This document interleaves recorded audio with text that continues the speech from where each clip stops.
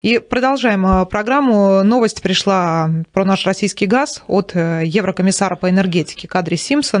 Э, она заявила вот что, что вчера встречалась с министром энергетики Украины, который проинформировал о продолжающихся ударах по энергетической инфраструктуре со стороны России, о чем вы тоже в первой части программы говорили, что Россия продолжает атаковать инфраструктуру, прежде всего военную, конечно, но вот Украина говорит и об ударах по энергетической инфраструктуре, Москвы.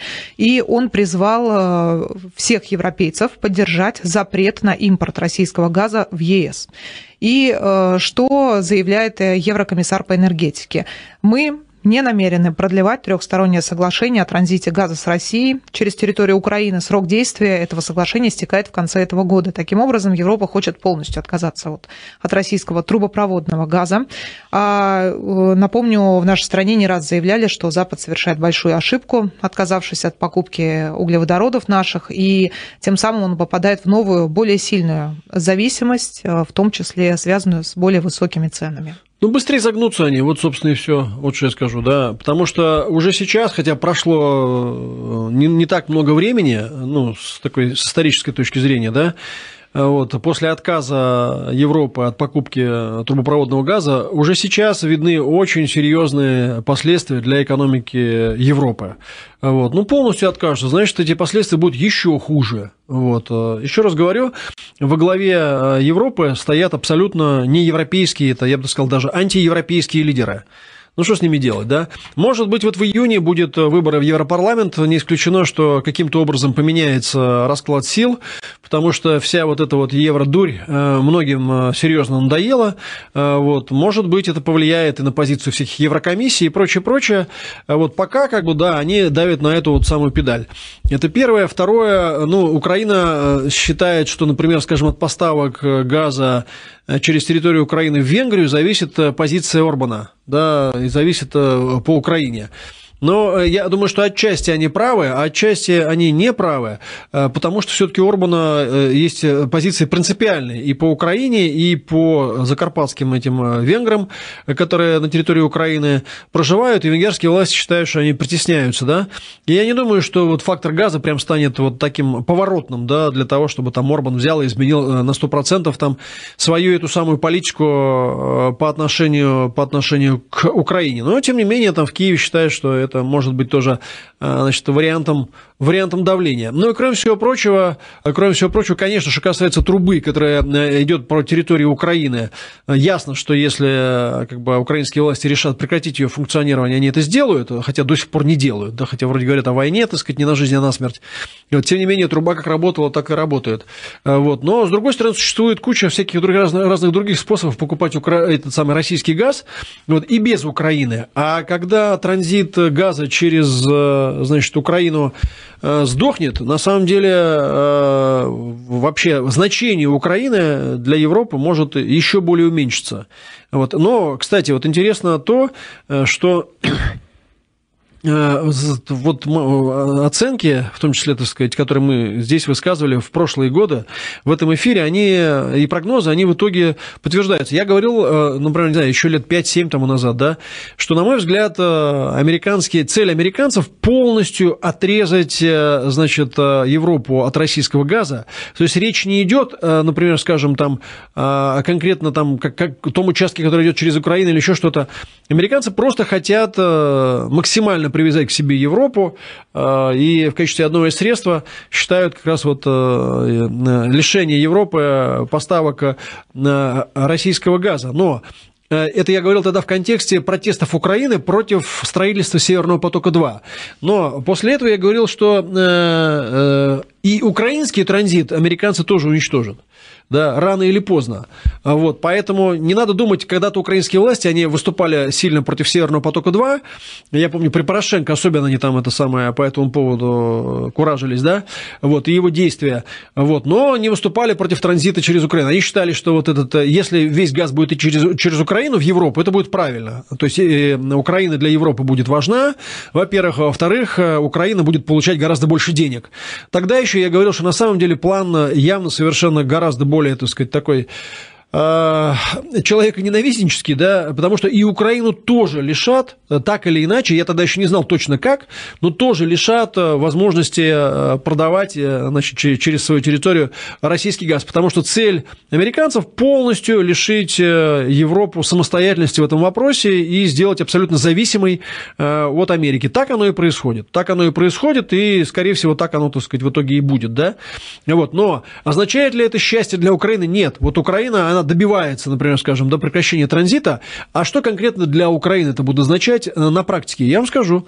Это, во-первых, будет означать того, что она лишится тех денег, которые мы ей платим за транзит. Да, странная, абсурдная ситуация. Мы вроде как воюем с Украиной, но мы продолжаем платить ей деньги за транзит нашего газа. То есть Украина получает наши деньги, которые как бы идут в бюджет, э, вот, э, так сказать, и используются в том числе, может быть, на, на военные цели. И ей а... даже не противно, да? Не, ей не противно. Мне кажется, даже где-то местами приятно. Я думаю, что, как бы, да, очевидно, что вот эти... То есть она лишится части денег. Не то, чтобы это очень большие деньги, да, я рассчитываю, что сейчас им там подарят все российские российские ресурсы и вот эти замороженные, и, в общем, и так будет хорошо, но, тем не менее, этих денег она лишится. Первое. Второе. Но, скорее всего, будет уничтожена эта инфраструктура, которая сама по себе, а, несомненно, имеет ценность, да, потому что ее наличие – это возможность возобновления когда-нибудь, да, этого транзита и так далее. Но, скорее всего, как бы, да, война будет продолжаться, а, по крайней мере, в ближайшее обозримое, так сказать, будущее, и эта инфраструктура будет уничтожена, выведена из строя, и Украина просто ее лишится. Это будет еще один фактор деиндустриализации. Кроме всего прочего, это будет означать, что нету, ну, как бы тоже исчезнет определенная там зона безопасности. Вот пока этот трубопровод никто не трогает. Да, российская сторона тоже его бережет, потому что по нему идет газ в сторону Венгрии. А когда газ перестанет идти, ну, значит, не будет никаких таких вот запретных зон, да, в том числе касающихся вот этой э, перекачивающей инфраструктуры, и Украина будет э, и по этим местам тоже как бы, да, больно получать. Э, вот, собственно, и все. То есть, станет ли это дорогой к счастью? Нет. Но что касается украинской политики, она вообще не про счастье она про какую-то вот ненависть, там, недальновидность, глупость, жадность и тупость, да. А, вот, собственно, и все. Поэтому тоже вот это вот они так вот а, победно, как бы вот это, значит, нам а, говорят, что вот мы не будем продлевать это трехстороннее соглашение, так сказать, мы вот э, прекратим пользоваться газом, да, ну, э, непонятно, кому от этого будет хуже. Вот в чем дело. Потому что газ как товар, он найдет себе, пусть и со, скидкой найдет себе покупателя, несомненно. Кроме всего прочего, остаются разные двусторонние варианты соглашений. Да, может быть, без использования территории Украины как транзитной, но тем не менее, у нас еще вон Южный поток, у нас есть Турция. Не хотите вы как бы да, получать от этого дохода? Ну, Турция будет получать, значит, доходы от этого. Она и сейчас уже получает, да. Вот и все. Что укрепляет власть Эрдогана и так далее, при всем, при всей его неоднозначности, но, но это так, да. Ну, не будете, да, Польша и Украина и все остальные, там, Германия не хотят получать этот доходы. Ну и не будете получать, будут получать другие. Вот, собственно, и все. То есть газ-то никуда не денется. Вот, он у нас есть. Э, вот, э, покупатель на него найдется. Вот, его у нас много. Ну да, наверное, нам приходится продавать его дешевле. Ну ничего, как бы, да, все равно мы найдем, кому и продать. А вот найдете ли вы, у кого купить дешевле, да? Видимо, нет. Кроме всего прочего, на самом деле сейчас Европа тихой сапы покупает довольно большие объемы российского сжиженного газа. Он там переоформляется. Причем рекорд, рекордные объемы. Да, вот рекордные объемы, так сказать, а, это самое, они, они переоформляют. Почему, например, вот был проведен удар, так сказать, по Усть-Луге, вот по этим терминалам, которые, так сказать, потому что э, хохлы, так сказать, понимают, что э, все это обман. Ну да, вот они по, по, по трубам не перестали получать, но все равно им нужен, российский газ им все равно нужен. Ну ничего, найдем другие способы. Найдем, так сказать, способы, и они все равно будут покупать, потому что деваться некуда. А некуда деваться. Вон американцы вообще могут завтра взять и наложить вето а, на поставки этого газа. Они так сильно боялись, что вот Россия, для России, они говорили, российский газ – это оружие, а американский газ – это не оружие, разве? Это не, не способ давления. Вот американцы сейчас подсадили, а, значит, на свой жирный газ и периодически угрожают тем, что вот может быть сложится рыночная ситуация так, что мы ограничим объемы продажи или запретим объемы продажи. Это же тоже, это ровно то же самое, так сказать, только с другой стороны. Ну, то те правильные, эти неправильные. То есть, кому они сделают хуже в перспективе, перспективе, это большой вопрос. Я думаю, что они хуже сделают себе.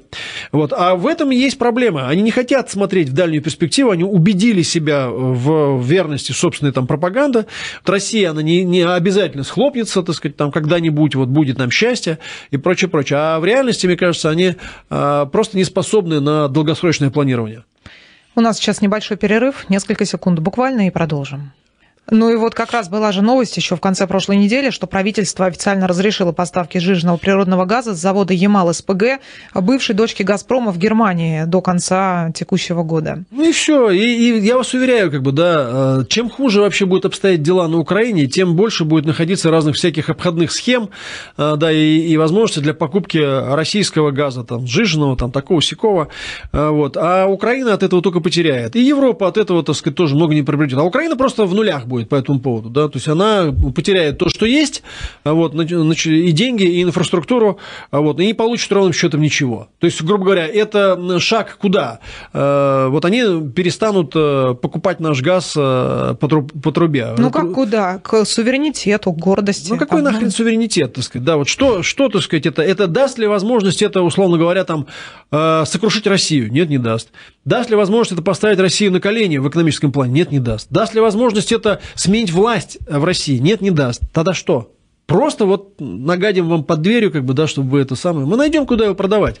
Вот вы там о своем, как бы, да, позаботьтесь, потому что э, всего того, что можно назвать промышленностью, на Украине становится все меньше, меньше и меньше. И дальше будет становиться все меньше, меньше и меньше. Вот это ваше будущее ваше будущее. А для нас, э, да, ваше будущее, в котором вы понадеялись на Запад, который якобы будет вас кормить, так сказать, обувать, одевать, вот. А, а для нас это, да, это беда, конечно, да, это разочарование для многих, да, вот, но одновременно это стимул развивать собственную экономику, собственную промышленность, да, искать какие-то другие, так сказать, варианты развития, а вот, не зависеть больше от внешних поставок, там, от экспорта, импорта и прочее, прочее. Я думаю, что это, в общем, тоже в долгую это хорошо. То есть, э, э, итог такой, для Украины это в долгую плохо, а для нас в долгую хорошо. Вот и все.